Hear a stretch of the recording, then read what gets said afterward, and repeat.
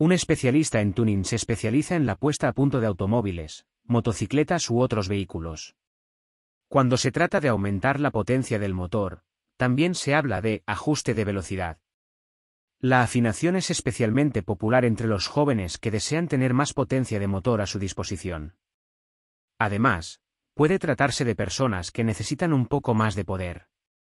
Pensemos, por ejemplo, en los propietarios de autocaravanas, que simplemente no tienen suficiente energía en las montañas.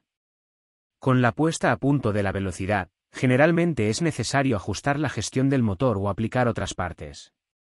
Pensemos, por ejemplo, en ajustar el turbo, la caja de cambios o el filtro de aire. En casos extremos, también es posible aumentar la cilindrada, aumentando el rendimiento.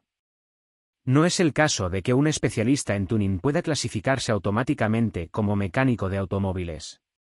También hay especialistas en tuning que solo utilizan chip tuning por medio de un ordenador.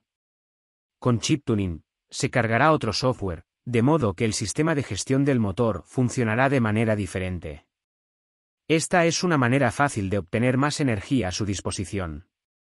Con chip tuning, es cierto que el fabricante puede cancelar la garantía. Incluso con una actualización del garaje, el nuevo software en la mayoría de los casos se sobrescribirá. La profesión de especialista en afinación también debe verse como bastante general, ya que esto puede relacionarse con diferentes especialistas. Pensemos, por ejemplo, en mecánicos de automóviles, mecánicos de motores o técnicos de diagnóstico. Todos estos son mecánicos que pueden especializarse en la puesta a punto de vehículos de diferentes maneras. Además, la puesta a punto de los vehículos puede relacionarse con el proxenetismo de vehículos.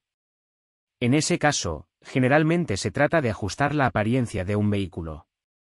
Piense en llantas especiales, spoilers, iluminación o el envoltorio de vehículos. Esta es otra forma de afinación.